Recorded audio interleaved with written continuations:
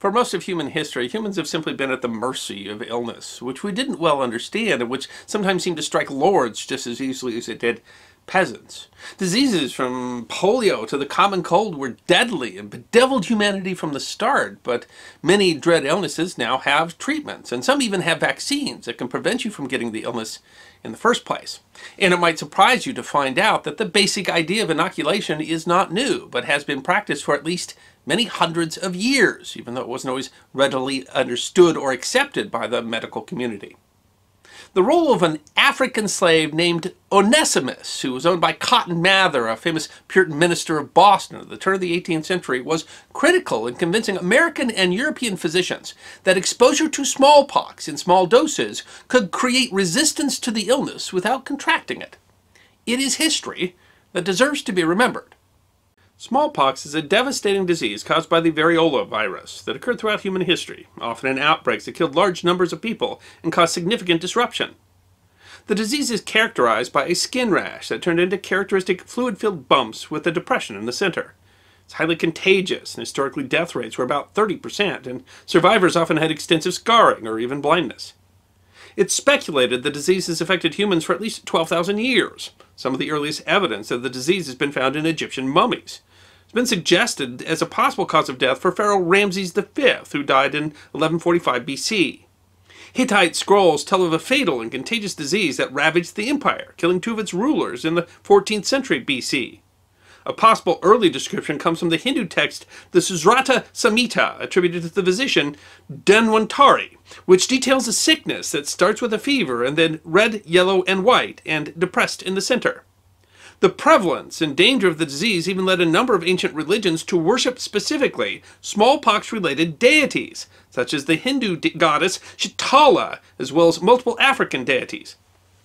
Variola, the name of the virus, derives from the Latin word for spotted or mottled, or from varus, meaning pimple, but the illness has gone by many names, such as the speckled monster or the red plague. The term smallpox originated in 16th century England to distinguish it from the great pox syphilis. Smallpox gradually became one of the greatest threats over the next few centuries. A later German proverb held, From love and smallpox, but few remain free. By the 1600s, smallpox was present in much of the world, including the New World, where it ravaged Native American populations. The first attempts to inoculate populations against the devastation of smallpox took place in China, India, the Middle East, and Africa, and might have been used as early as the turn of the millennia. Called variolation, the process involves exposing a person to a small dose of live smallpox to give them a minor case that nonetheless protects them from the virus. It is an imperfect solution, but death rates from variolation were only around 1%, which is far better than those offered by the actual illness. In China, they did this by grinding up the scabs of sufferers and giving it to them by nasal insufflation, blowing it into their nostrils. They would deliberately choose minor cases to use as donated material, hoping to ensure the inoculated patient's survival. Afterwards, they quarantined the patient as if they had contracted the disease naturally until it passed. Chinese physicians would use a silver pipe to administer the inoculation. They specifically used the right nostril for boys and the left nostril for girls. The other primary method involved taking material from the infected and introducing it directly into an open wound on a healthy patient. By 1700, variolation was present in Turkey, where the British would first encounter it. Lady Mary Wortley Montagu had lost a brother to smallpox before she contracted the disease in December 1715. The disease was said to have marred her face and left her without eyebrows. In 1716, her husband was appointed ambassador to the Ottoman Empire, and Lady Montagu accompanied him to the country. She was a prolific writer and wrote about much of her journey, including her famous 1717 Letter to a Friend. The smallpox, so fatal and so general amongst us, is here entirely harmless by the invention of ingrafting. She described the Turkish custom of women inserting smallpox into the veins of the uninfected to give them a mild form of smallpox. They have very rarely above 20 or 30 in their faces, with never mark, and in eight days they're as well as they were before the illness. Mary had her own son inoculated in Constantinople and brought the news back to England. English authorities had first heard of the method 20 years earlier when two reports were sent to the Royal Society, but no action had been taken. The Royal Society later published two reports on the practice in 1714 and 1716, which reached the prominent Boston minister, Cotton Mather. He wrote to a member of the Royal Society that he had read the papers, but that their content wasn't new to him. He had already heard of variolation. In 1706, a slave was presented to Mather by his parishioners. We don't know what his birth name was, but Mather gave him the English name Onesimus, after a slave mentioned in the epistle of Philemon. Mather wrote that many months before I met with any imitations of treating ye smallpox with the method of inoculation, and were in Europe, I had from a servant of my own an account of it being practiced in Africa. Mather says that when asked if he had ever had smallpox, Onesimus responded, yes and no, and after describing the process and showing Mather the scar, said it was a common practice among his people. Other slaves would tell the minister similar stories. For Mather, the discovery of variolation as a remedy was both a medical and a spiritual answer to smallpox. He saw the cure as a providential gift that Africans had been given by a merciful God. In America, the primary methods of preventing smallpox outbreaks were quarantining incoming ships and isolating those who were ill. In mid-April 1721, two British ships coming into the Boston harbor from the Caribbean passed by the quarantine station without stopping. Two slaves on board one of the ships already had smallpox, and several of the crew were incubating the disease. At the end of May, Cotton Mather wrote, The grievous calamity of smallpox has entered the town. There hadn't been an epidemic of smallpox in Boston for 18 years, and the 1721 outbreak would be the worst for the city in the 18th century. Harvard announced that its commencement would be private, so visitors would not risk spreading the illness. Dr. William Douglas said the disease had rendered this large and populous town of Boston a mere hospital. The funeral bells rang so often that the churchmen were ordered to only ring one bell at a time, and that only at designated hours. In Charlestown, across the river, it was ordered not to ring more than three bells in one day for the burial of any person, lest it be discouragement to those who were ill with the smallpox. Mather had only a small amount of medical experience, but he saw the possibility of inoculation to be a miracle that needed to be implemented. On June 6, he sent the reports from the Royal Society to local physicians to encourage them to begin the practice of inoculation. When he received no response, he pressed Dr. Zabdiel Boylston and convinced him to test the practice. Boylston inoculated his youngest son, as well as two of his slaves, and all three had recovered within a week. Encouraged, Boylston inoculated seven more people by July. Despite these early successes, the practice raised a horrid clamor among the people of Boston. Mather was not shy about saying that he had learned the practice from slaves, including Onesimus, and many people in Boston thought that advice from slaves was not advice at all, but an attempt to overthrow their masters. William Douglas said Mather was too eager to accept the advice of an army of half a dozen or half a score Africans. Boylston and Mather became the target of much invective. The city's selectmen were convinced by other doctors who claimed that inoculation only spread the disease and ordered Boylston to stop administering the procedure. Reverend John Williams wrote that the practice violated the laws of medicine. Inoculation, he said, was not the treatment of a disease, but the creation of one, and that it made doctors into people who hurt instead of helped. The New England Courant newspaper, helmed by Benjamin Franklin's brother James, came out against the practice, saying it spread rather than prevented smallpox. The fight became vicious enough that in November of 1721, someone threw a lighted grenade into Mather's house. Dr. Douglas was rare in the colonies because he held a medical degree from Europe and became one of the most vocal opponents. He claimed variolation killed more than it helped, and that ministers were not qualified to offer medical advice, especially when they were trusting the testimony of slaves. Many slaves, to my knowledge, have assured their masters that they had the smallpox in their own country or elsewhere, and have it now in Boston. Some Puritan ministers, such as Mather's father, Increase Mather, defended inoculation, believing that the will of God was to be discerned in nature as well as in revelation. But the practice challenged other Puritan beliefs. Puritans found meaning in affliction, and Reverend Williams openly wondered if inoculation was circumventing divine will, would only serve to provoke God more. He said there was no mention of inoculation in the Bible, which made the practice unlawful, and others worried that deliberately infecting their neighbors and risking their death violated the commandment, Thou shalt not kill. Mather stood firmly against these beliefs, saying, Whether a Christian may not employ this medicine and humbly give thanks to God's good providence in discovering of it is a miserable world. God had given men the resource to save themselves. It was up to them to use it. By early 1722, the epidemic had subsided, but the debate over inoculation continued long after. Of a population of 11,000, 6,000 cases of smallpox were recorded, and about 850 of those died, a death rate of about 14%. Of the almost 300 people Boylston had inoculated, only six had died, a rate of less than 2.5%. By the numbers, Onesimus's method had proven successful, offering the potential to save thousands of lives. It wasn't the success of the experiment in Boston that would convince Douglas, however. In 1721, Lady Montagu would publicly have her daughter inoculated, and the English government tested the method on several prisoners. Shortly after, King George I's grandchildren were inoculated. Less than a decade after the Boston outbreak, two things changed to bring detractors like Douglas around to the practice. More of the public had personally seen the success of the procedure, and much more research was done and published by other authorities. By 1730, Douglas didn't just believe inoculation worked, he encouraged it. One thing that did change from the 1721 trials was that those inoculated were quarantined for the duration of the illness, thus preventing the disease from spreading. Fifty years later, in 1775, George Washington ordered the Continental Army variolated to protect it. By the end of the Revolutionary War, the practice had gained widespread acceptance in the colonies. It is difficult to overstate the importance of variolation. Not only did the practice save millions of lives from smallpox, but it validated the idea of inoculation.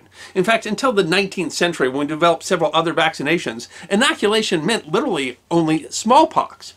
The term vaccination didn't come about until 1790, when British physician Dr. Edward Jenner developed a vaccination for smallpox using less virulent cowpox. The term vaccination comes from the Latin word vacca, meaning cow. Variolation stopped being used pretty much in the 19th century as safer methods of preventing the disease were developed, but it continued to be used in very rural areas in places like Pakistan into the 1960s.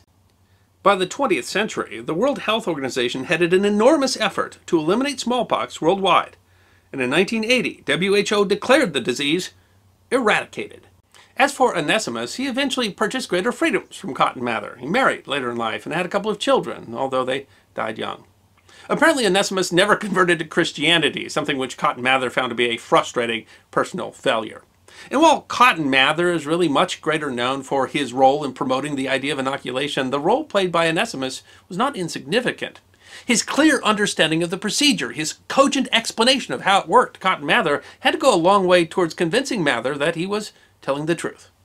In 2016, Boston Magazine named Onesimus one of the best Bostonians of all time because of the role that he played in legitimizing the life-saving procedure.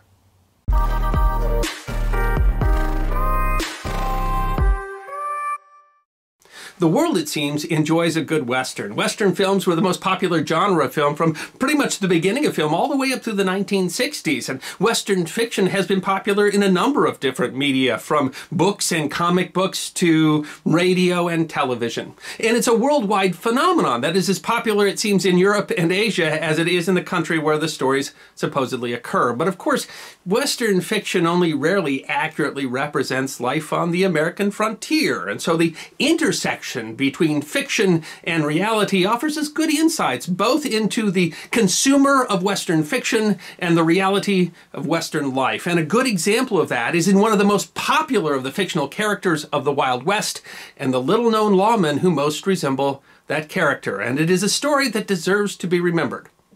So return with us now to the thrilling days of yesteryear. From out of the past come the thundering hoofbeats of the great horse, Silver. The Lone Ranger first rode into the hearts and minds of listeners courtesy Detroit area radio station WXYZ, with the title role voiced by actor George Seaton, who later won two Academy Awards for screenwriting, and said that he invented the famous catchphrase, Hi-Yo Silver, because he couldn't whistle. WXYZ aired nearly 3,000 radio episodes of the show featuring a Texas Ranger who fought outlaws, accompanied by his faithful Indian companion, Tonto.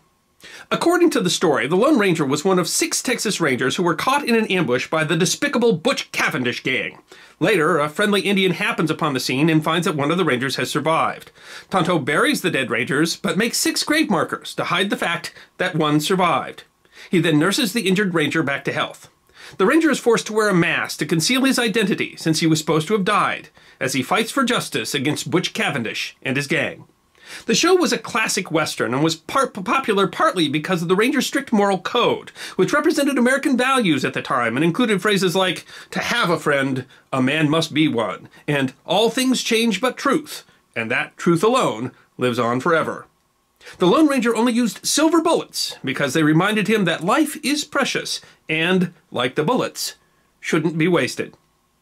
Along with the radio show, the Lone Ranger spurred two film serials in the 1930s, a popular television show that ran over 220 episodes between 1949 and 1957, two different cartoon series, a newspaper comic strip that ran for more than 30 years, dozens of adventure novels and comic books, a video game, hundreds of various toys, and seven feature films. And in one of the lesser known connections, the Lone Ranger spawned a popular spin off property where, according to the story in the original radio show, the Lone Ranger's young nephew Dan, who appeared in both the radio show and the television show, has a son who eventually takes on again the role of masked crime fighter as the Green Hornet. But the popularity of the Lone Ranger begs an interesting question Was there a real Lone Ranger? The answer is possibly. In 1915, novelist Zane Grey wrote a novel called The Lone Star Ranger, which itself was adapted for four different feature films. The character in the novel is fictionalized, but the novel was dedicated to a real Texas Ranger named John Reynolds Hughes. While he was a rancher in Travis County, Texas, Hughes had tracked down a group that had stolen horses from his and other ranches. That drew the attention of the Texas Rangers, who recruited him. He served as a ranger for 28 years, the Texas Rangers' longest serving member. Hughes was known as one of the most effective of the Texas Rangers, and notably, when another Texas Ranger captain was killed in an ambush, Hughes, one of the Rangers' best trackers, relentlessly pursued the gang that had committed the ambush, somewhat like the story told in The Lone Ranger. While Hughes had certainly inspired Zane Grey, who knew and respected Hughes, it's less clear whether he was an inspiration for the Lone Ranger. But he was certainly an example of a dedicated Texas Ranger, and, like the story, had doggedly tracked down outlaws who had killed other Texas Rangers in an ambush.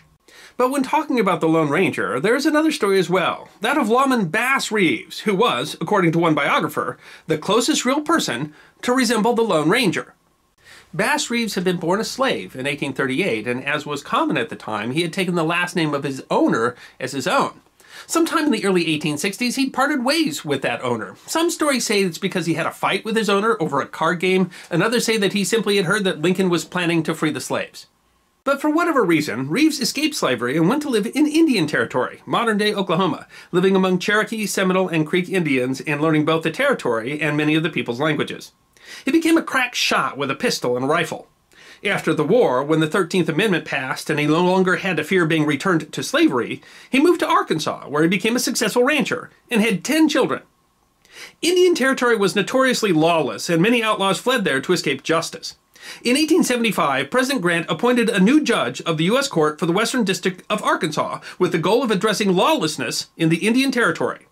The judge then appointed a former Confederate general as the new U.S. Marshal, who then hired 200 deputy U.S. Marshals, some of whom were among the most famous lawmen of the West. Having heard of Reeves' knowledge of the Indian Territory and familiarity with its people, the new marshal hired him as one of those deputies. Bass Reeves became the first black deputy U.S. Marshal west of the Mississippi. He served for nearly 30 years and in that time brought in more than 3 thousand wanted outlaws. He survived numerous gunfights, and despite having both his belt and his hat shot off in different gunfights, he never himself took a bullet. He was one of the most feared and respected lawmen of the Indian Territory. He was known for dressing fastidiously and for wearing two Colt pistols with the butts faced forward for a quick draw.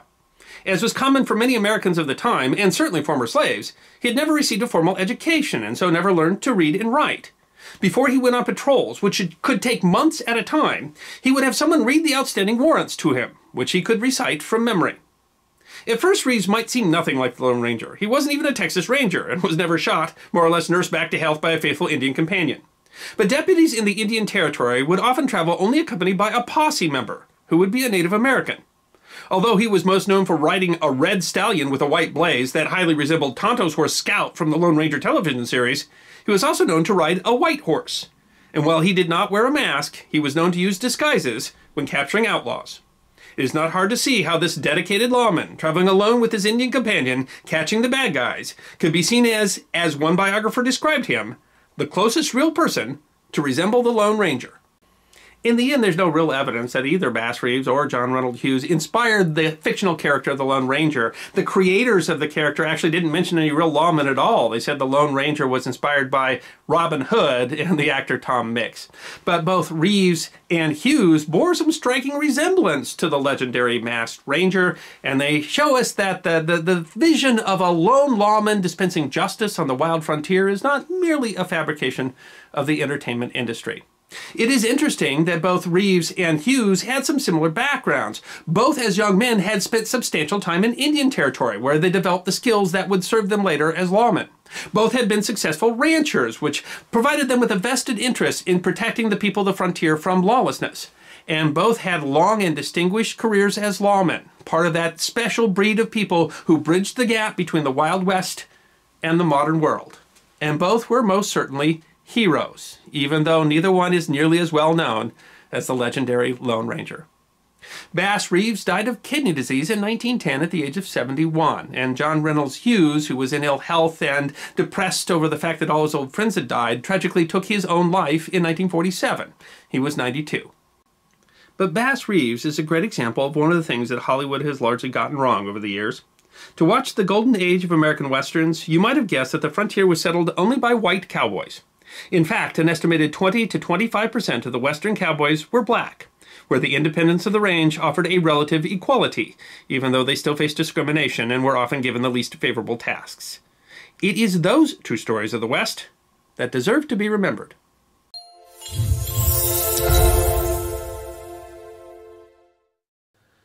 There's a good chance if you've heard of James Cleveland Jesse Owens, the astounding athlete who won four gold medals at the 1936 Olympic Games and was described in his obituary in the New York Times as perhaps the greatest and most famous athlete in track and field history. You may also well have heard of Jack Roosevelt Jackie Robinson, who in 1947 became the first African American baseball player to play in Major League Baseball in the modern era, thus breaking the so-called color barrier but you are far less likely to have heard of Matthew Mackenzie Mack Robinson, who finished second to Jesse Owens in the 200 meters in the 1936 Olympics and was the older brother of Jackie Robinson. Mack Robinson largely missed the accolades, but his story deserves to be remembered. Mack and Jackie were both born in Georgia, the sons of sharecroppers. Mack, born in 1914, was the third of five children. Jackie, born four years later, was the youngest. Their father left them after Jackie was born, and in 1920 their mother moved them to Pasadena, California, where she worked odd jobs to keep the family afloat. But Mack and Jackie Robinson, because of their athletic ability, had the opportunity to attend college. Mack attended what was then called Pasadena Junior College, now Pasadena City College, where he was a track standout. He wanted to try out for the U.S. Olympic team, but the college had no money to send him, so some local businessmen had to raise the money to buy him a train ticket to New York, where the trials were held at Randall's Island Stadium on July 11th and 12th. He couldn't afford new shoes, and so ran in the worn-out shoes he used in junior college, but still qualified for the Olympics in the 200 meters, 0.2 seconds behind Ohio State University's star sprinter, Jesse Owens. Robinson was one of 10 black men to qualify for the 1936 Olympics for the United States, matching all other previous Olympics combined. In the final at the 1936 Olympics, still wearing his worn-out shoes, Mack beat the previous Olympic record with a time of 21.1 seconds, but still got the silver, 0.4 seconds behind Jesse Owens' record finish. Robinson expressed no disappointment. He said, it's not too bad to be second best in the world at what you're doing, no matter what it is. It means that only one other person in the world was better than you. That makes you better than an awful lot of people. Still, Robinson understood that he had achieved what he had without the benefit of proper shoes, or a coach, whereas Owens had been coached by legendary Ohio State coach Larry Snyder. Mack's daughter, Kathy Robinson Young, recalled, Daddy always thought that if he had better shoes or some decent coaching, he could have beaten Jesse, or at least made it even closer than it was. But a silver medal didn't guarantee fame. He said upon returning home, if anybody in Pasadena was proud of me, other than my family and close friends, they never showed it. I was totally ignored. The only time I was noticed was when someone asked me during assembly at school if I'd race against a horse but he continued to excel. He returned to Pasadena Junior College for the 1936-37 school year and set then national junior college records in the 100 and 220 yard sprints and the broad jump. where his record of 25 feet, 5.5 inches, was beaten the following year by his younger brother Jackie. And the Olympics had earned him an opportunity. At the Games, he met and befriended Bill Hayward, the track and field coach for the University of Oregon. Mack attended the university for the 1938-39 school year, winning an NCAA championship for the team in the 220-yard dash. After graduating from Oregon with a degree in physical education, Robinson had difficulty finding work and ended up taking a municipal job with the city of Pasadena, pushing a broom. He recalled that when it was cold, sometimes he would wear his Olympic jacket. In this, his plight was not unique. Jesse Owens, who had run 0.4 seconds faster, also took a number of menial jobs in his life, including gas station attendant, playground janitor, and manager of a dry cleaning firm. He once remarked, I had four gold medals, but you can't eat four gold medals. Even Mack's menial job with a broom turned out not to be safe. In 1941, the city was forced by the California District Court to desegregate its public swimming pools. In retaliation, the city fired all its black municipal employees, including Mack Robinson. The treatment of his older brother was said to be part of what motivated Jackie Robinson, who not only broke the Major League color barrier, but was a Major League Baseball Rookie of the Year, National League MVP, won a World Championship with the Dodgers in 1955, and in 1962 was elected to the Baseball Hall of Fame on the first ballot. Mack Robinson's silver medal run in 1936 was recognized again in 1984, when he was selected as part of a group that carried a giant Olympic flag into the opening ceremony of the 1984 Olympics at the Los Angeles Coliseum. His daughter, Kathy Robinson Young, said, It was his greatest moment. His native city finally recognized him when, in 1997, they dedicated the Pasadena Robinson Memorial, installed across from City Hall. The memorial includes a nine foot tall bust of he and Jackie. The Pasadena City College Stadium is named Robinson Stadium after he and his brother, and a Pasadena post office is named in his honor. While he was not as well known as his brother or the man who ran four seconds faster, he left behind an extraordinary legacy of good works. Mack Robinson, who among other jobs was an usher at Dodger Stadium, found his calling working as a truant officer for John Muir High School in Pasadena and an advocate against street crime. He was acutely aware of how his athletic success could be used as a teaching tool to change the world. As the plaque under his memorial reads, athletes should recognize that once they establish themselves, people will attempt to pattern their lives after their sports heroes. Mack Robinson passed away in March of 2000 at the age of 85, leaving behind at the time of his death six children, 25 grandchildren, and eight great-grandchildren.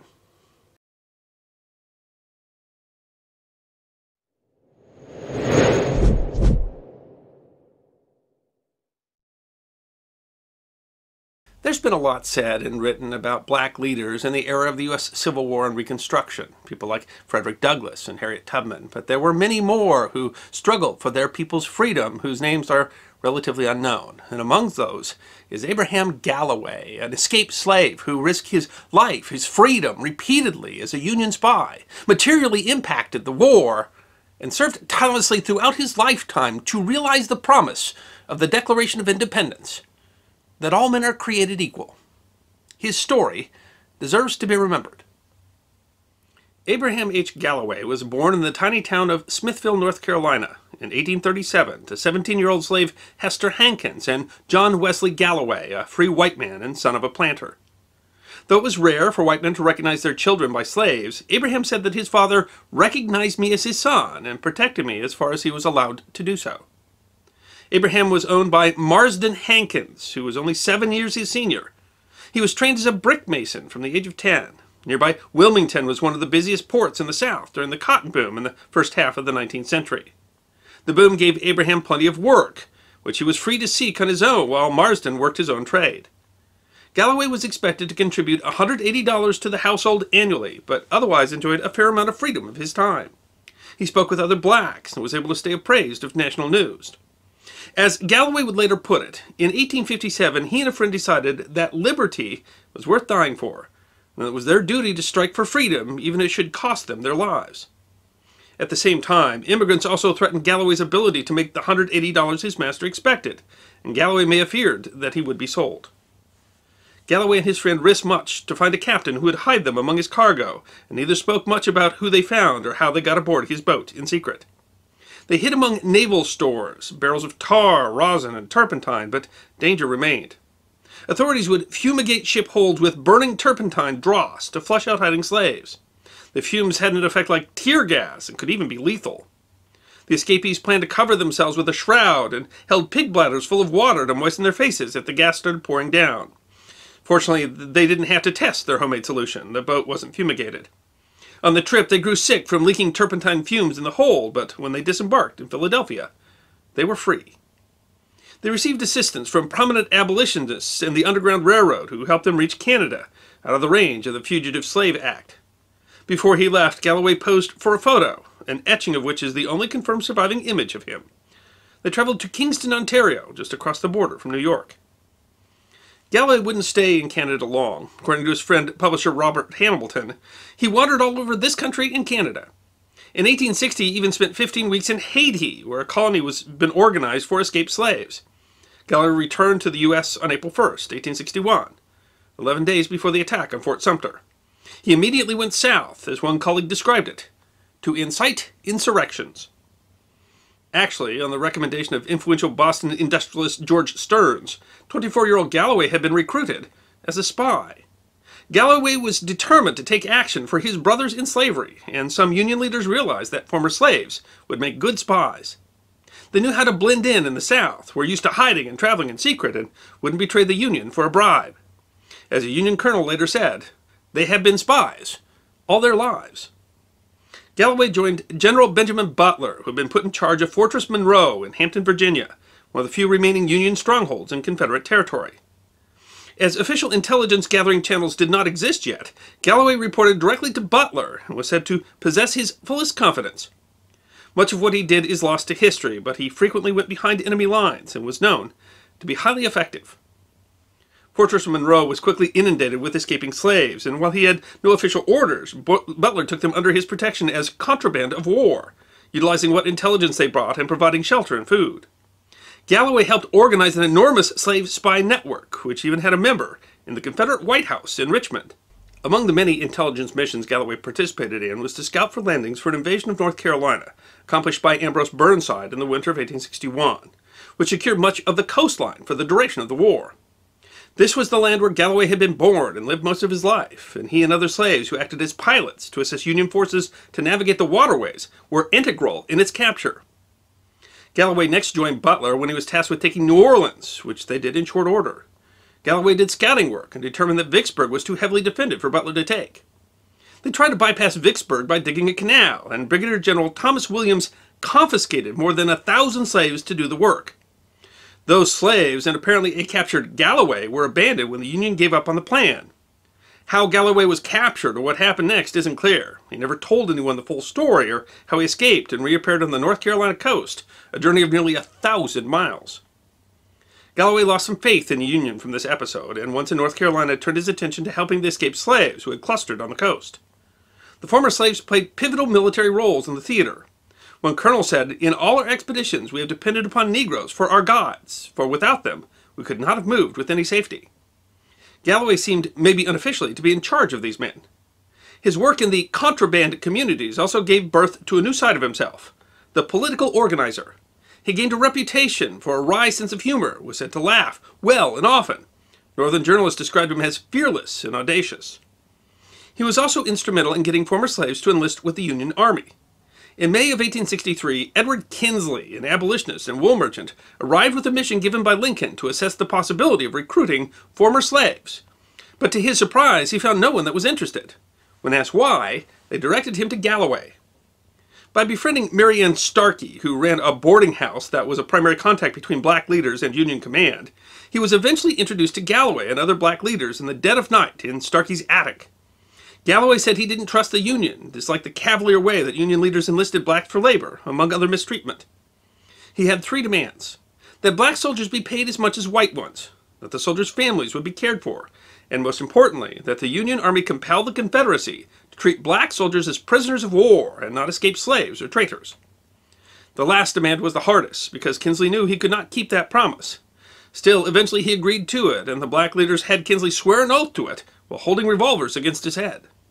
A few days later, Kinsley had his recruits, hundreds of former slaves, of Herculean proportion. More than 5,000 would eventually enlist from around New Bern, and 186,000 blacks would eventually serve, around half of them former slaves. Galloway spent the summer of 1863 as a recruiting emissary for the cause, reaching out to as many contacts in freedmen camps inside rebel territory. Galloway did one more mission as a Union spy for his old friend, General Butler. Butler had heard rumors that the POW camp at Point Lookout, Maryland held many Confederates with Union sympathies, who could be convinced to enlist in exchange for their release. The camp was a miserable place, overcrowded and filled with desperate men fighting over meager supplies. Certainly most of the prisoners would be unhappy to find a black man in their midst. Though we don't know the content of Galloway's reports, by March of 1864, the first regiment of galvanized Yankees was sent to the Dakota frontier even as the war entered a bloody stalemate, Galloway was confident that the South would lose and that he needed to start looking towards the future. In 1864, he decided to move his efforts from the cartridge box to the ballot box. To that end, on April 29, 1864, Abraham Galloway and five others formed the first delegation of Southern black leaders to meet the President of the United States. From the start, the delegation was shocked at their good treatment. They were allowed in the front door, something unheard of in the South, where blacks were expected to come around the back. Lincoln was said to have treated the delegation with respect and dignity. As Frederick Douglass had said, Lincoln was the first great man I talked with in the United States freely, who in no single instance reminded me of the difference of color. The petitioners sought a promise that Lincoln would finish the noble work you have begun, and grant unto your petitioners the greatest of privileges, to exercise the right of suffrage. Galloway knew that blacks, especially in the South, would struggle after the war, and that voting rights were one of the few ways that he would be able to fight back. Lincoln expressed his support, but did not promise the petitioners anything. Galloway's speeches across the North that year were hopeful, and he was said to make those laugh who had never laughed before. Still, Galloway was reminded of the lesser place blacks still held. Repeated massacres of black troops at Fort Pillow, Fort Wagner, Milliken's Bend, and Suffolk, Virginia, and the reticence of Northern leaders to discourage them reminded him that even then the North saw black soldiers as less valuable than white ones. When Lincoln was killed, he joined the board for the National Lincoln Monument. Galloway was selected as one of a handful of Southern delegates who attended the National Convention of Colored Men in October 1864. It was the first national meeting of black leaders, and it created the first national civil rights group, the National Equal Rights League. Galloway was named one of the 16 vice presidents of the League. His speaking tour afterwards can be characterized by a single line I am God's free man, and I feel I am ready to do all I can to lift up my own oppressed brethren. He helped to found the first state chapter of the National Equal Rights League in North Carolina. Auxiliary chapters were founded all over the coast. He was elected president of the league in New Bern, where Morehead City dubbed itself the Abraham H. Galloway Equal Rights League. Galloway demanded public schooling for black children, in addition to voting rights, so as to be an educated people and an intelligent people. If the Negro knows how to use the cartridge box, he said, he knows how to use the ballot box. He even said he was willing to agree to literacy tests for voting if they were applied equally to blacks and whites. And I tell you that this, if this is done, one half the white people of North Carolina will be debarred from voting. Violence was endemic between blacks and whites in the first days after the Confederacy collapsed.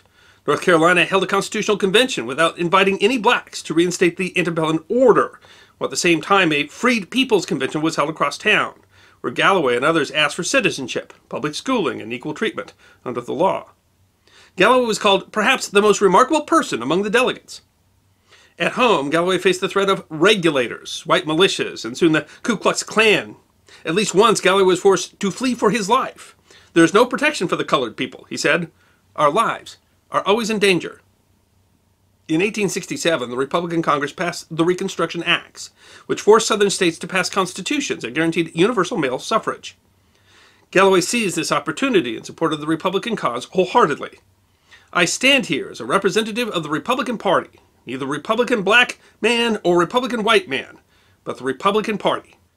Galloway served as a delegate to the 1868 North Carolina Constitutional Convention, even though the press derided it as a kangaroo convention that would write a gorilla constitution. Afterwards, he was put up for the state senate in the first race where blacks were allowed to hold statewide office threatened whites engaged in mass voter intimidation when people were writing that the only way to defeat growing black political power was the stern and bloody experiences of the battlefield. For fear of his safety, Galloway constantly carried a revolver. While giving a speech, he was attacked by a man with a bowie knife, and he barely escaped a lynch mob. He was also chosen as the first black presidential elector in North Carolina history. In the Senate, he constantly challenged white politicians, refusing to obey traditional rules of deference. One paper called him the pugilistic Indian senator, in reference to his mixed blood, while another called him the colored Napoleon. He was always ready for a fight, and even threatened duels with senators who could not give him respect. If white people don't like their legislation, he said, they can leave. He faced constant racism, both in his personal life and in legislation, which declared that blacks were naturally inferior to whites. When a bill raising train ticket taxes was announced, he accused it of trying to price out black citizens, and Riley added, Pass this bill, and you encourage horse stealing. When a colleague said the KKK was necessary to assure order and curb black criminality, Galloway shouted the man down. How could he justify the deeds and outrages of this miserable and contemptible organization? He was a major political supporter of labor and women's rights during his tenure. He twice proposed bills to amend the state constitution to extend suffrage to women. Tragically, at the height of his political career, shortly after having been re-elected to the North Carolina State Senate, Abraham Galloway died suddenly on September 1st, 1870, of a fever and jaundice. Some 6,000 people attended his funeral. One newspaper said that it was possibly the largest funeral in the state's history. He had survived so many attempts on his life, only to die of natural causes at just the age of 33. Shortly after his death, conservative Southerners resurged in what was called the Redemption to overthrow the Reconstruction era. In his time, Abraham Galloway was one of the most dynamic and popular of the Southern black leaders. He believed he had a cause that was larger than his own life, but he never learned to read and write, and so left behind very little to describe his own thoughts. And black codes and Jim Crow laws conspired to bury his memory. He was really only rediscovered in 2012 when a biography about him was written and a marker was erected near his hometown of Wilmington. The year before his death, he gave a speech that perhaps best described his life work. He said, I care not about the living present, but there must be a deep foundation laid for the coming generation.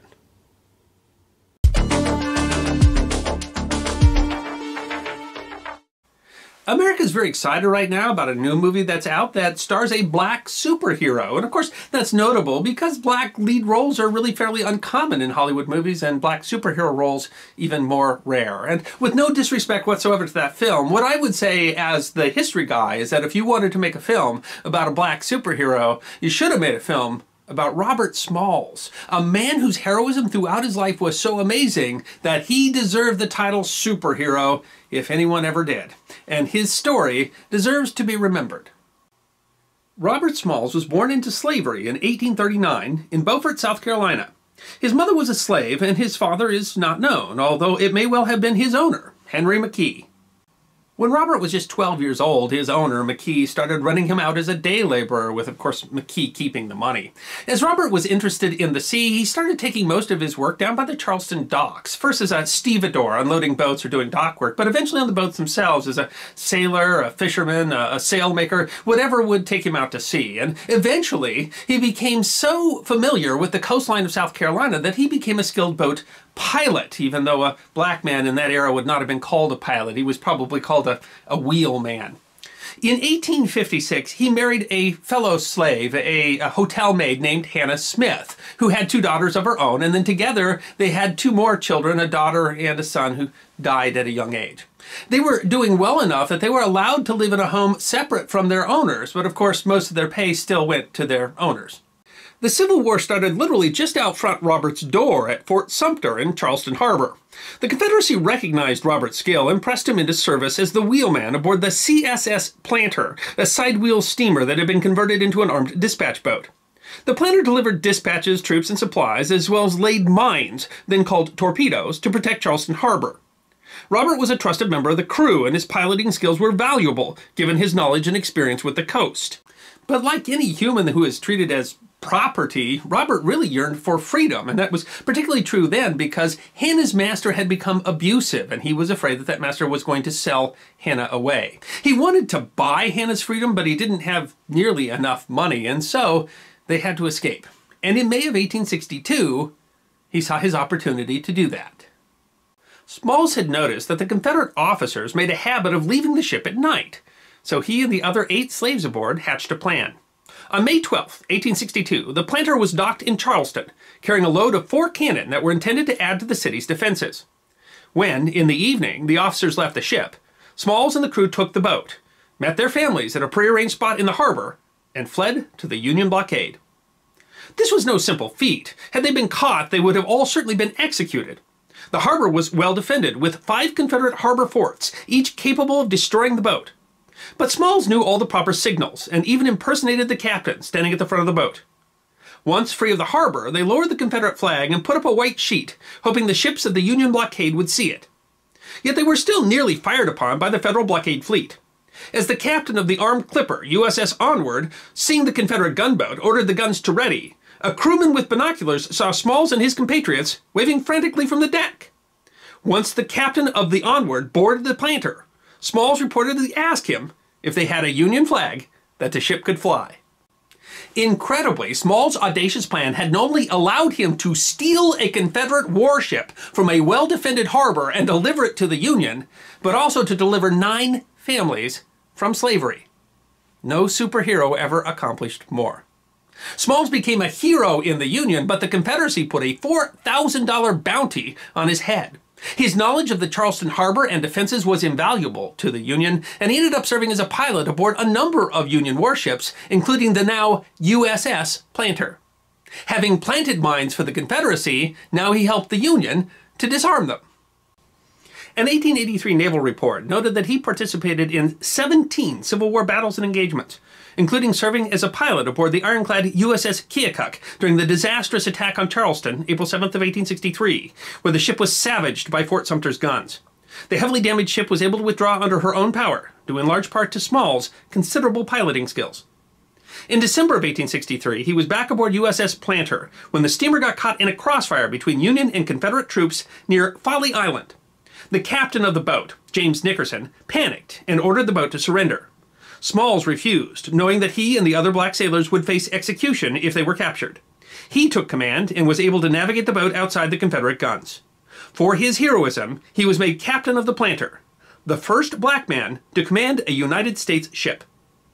During the war, he engaged in other heroics as well. He was instrumental in convincing Abraham Lincoln and Secretary of War Edwin Stanton to allow the recruitment of black troops into the Union Army, and helped recruit former slaves for the 1st Volunteer South Carolina Regiment, one of the first black regiments. He supported efforts to raise money to educate former slaves, and he himself achieved literacy. He was voted an unofficial delegate to the Republican National Convention in 1864. Also that year, when he was forced to give up his seat to a white passenger on a Philadelphia streetcar, he left the car rather than sit in the open overflow platform. That small act of rebellion helped to motivate the state of Pennsylvania to integrate public transportation in 1867. In Robert Smalls, whose heroics to this point I think already qualify him for superhero status, did not end his heroics with the end of the war. Following the Civil War, the South went through a period that was called Radical Reconstruction. Spurred by the 14th and 15th Amendments, which guaranteed the right of black Americans to vote, black Americans were able to participate in the American political process for the first time. So called Union Leagues were created, essentially as a branch of the Republican Party, and encouraged political activism on the part of black citizens. This facilitated a period of Republican domination of Southern politics. Robert Smalls was part of this. He was a delegate to the 1868 South Carolina Constitutional Convention. He was elected to the State House of Representatives and then to the State Senate, and in 1874 was elected to the United States House of Representatives. But this was a brutal era in U.S. politics where anti Reconstructionists frequently used violence and intimidation, often through shadow organizations of the Democrats, such as the Ku Klux Klan and the South Carolina Red Shirts. 35 African American officials were murdered by such organizations during the period of Reconstruction. Small's life was threatened by a group of armed redshirts at a political rally in 1876. Over his long political career, he had to endure threats of violence, false and trumped up charges, and open intimidation of voters. One contemporary observer noted in her diary Political times are simply frightful. Men are shot at, hounded down, trapped and held till certain meetings are over, and intimidated in every possible way. Eventually, Democrats won back the South and enacted numerous constitutional and legal changes designed to disenfranchise the black vote.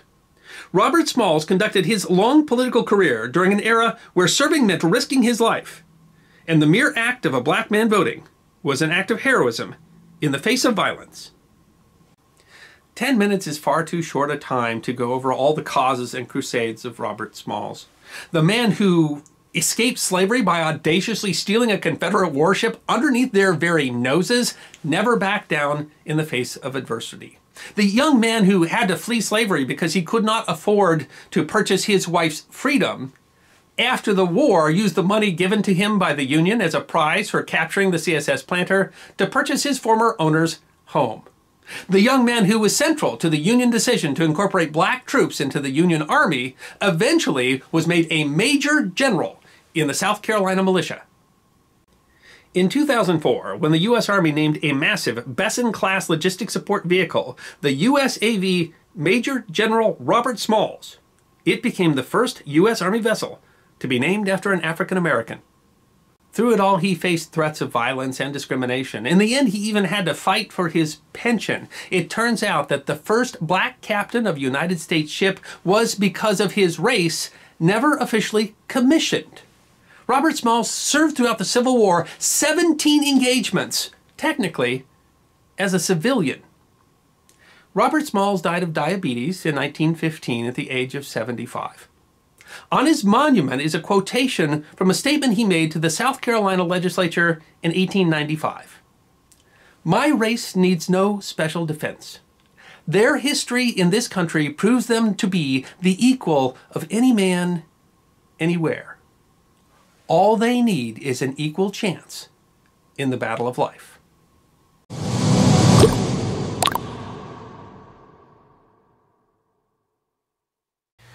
The world is currently remembering the 100th anniversary of the War to End All Wars. More than 16 million people died in the First World War fought between July of 1914 and November of 1918. And there are many forgotten stories of that war that deserve to be remembered. But one of the more interesting one is the little known fact that one of the greatest heroes of the French army in the First World War was, in fact, an American. And while he was a great hero in France, he was barely acknowledged in the United States. And that's too bad because not only is his a story worth remembering, but it's a story from which America could certainly learn. And so today we are going to remember the extraordinary story of Eugene Jacques Bullard, the Black Swallow of death. Eugene Bullard was born in 1895 in Columbus, Georgia, the son of William Bullard, who had come from the French island of Martinique and spoke French in his home. The family history was interesting. They had been slaves in the French colony of Haiti and had been moved from Haiti to Martinique to avoid the slave rebellion in Haiti. Eventually, his family had escaped and moved to the United States, where they found refuge with the Creek Indians. Bullard's mother was a Creek Indian, although she died while he was young. At the age of 12, he stowed away on a German freighter bound for Scotland. He was trying to escape racial hatred in the United States, where he had seen his father nearly lynched. His goal was to move to France, where his father had told him that people were accepted regardless of the color of their skin. In Scotland, he became a successful boxer and eventually earned enough money to fulfill his dream and moved to Paris. When the Great War came to France, he was too young to enlist, but on his 19th birthday, he signed up with other Americans to join the famed French Foreign Legion. With the French Foreign Legion, he saw some of the most terrible fighting of that terrible war, including the horrible Battle of the Somme and the bloody Champagne Offensive. What was really surprising at the time was that he survived. In some of these battles, his regiment took as much as 80% losses. By the end of 1915, the losses couldn't be replaced and his regiment was dissolved, but the surviving volunteers were allowed to join French Metropolitan Army units, and so Bullard chose to join the 170th Infantry, one of the most elite units of the French Army. The unit symbol was a swallow, and they were known as Le Hirondelle de la Mort, the swallows of death. And as the only black man in the regiment, he therefore got his famous nickname, the black swallow of death. With the 170th, he saw a new definition of war as he was taken to the Battle of Verdun. A veteran of some of the worst fighting in history, he said of Verdun, no one has ever seen anything like Verdun, not ever before, nor ever since.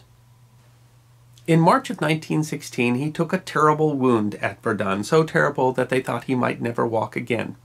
He was awarded two of the highest military honors in the French army, the Croix de Guerre and the Medal Militaire. He was a bona fide war hero you might think that as a veteran of the Somme and Verdun, and having won two of the highest awards in French history, and having taken a grievous wound, that Bullard had done his bit for the war, especially considering that he wasn't even a French citizen.